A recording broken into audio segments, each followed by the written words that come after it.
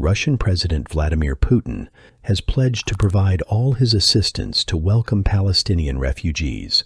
It is in this context that Russia's Muslim majority, Chechen Republic, has begun building apartments to house Palestinians fleeing the war in Gaza. These buildings will be located near a school and a nursery to make it easier for Palestinian children to continue their education.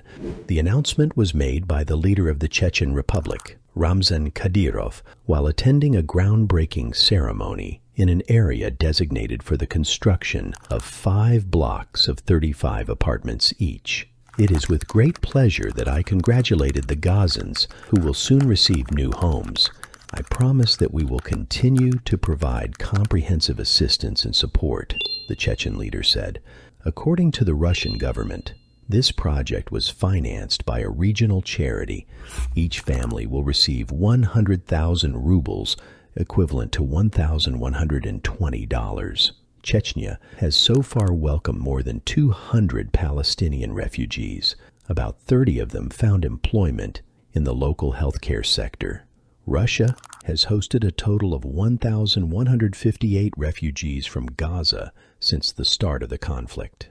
As of October 2023, Russia delivered humanitarian aid of more than 28 tons to Gaza.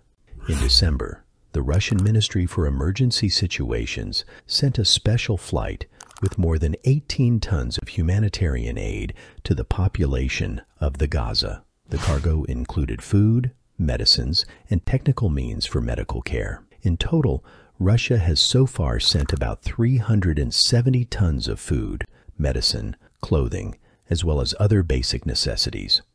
To conclude, let us not forget our Palestinian brothers and sisters who are now in a very difficult situation. There are so many things we can do for them. It can be a financial donation depending on everyone's possibility or an invocation because Allah is the only one who has the power to change any situation. Thank you so much for your time. May Allah bless you.